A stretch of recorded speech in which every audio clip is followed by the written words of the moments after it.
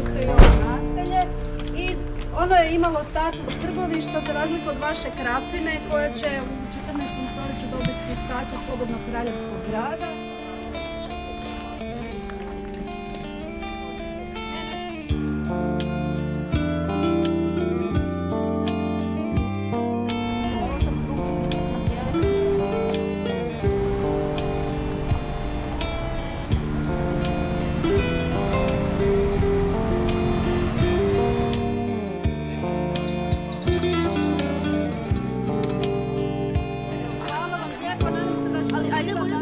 Можно переплатить удачно, возможно,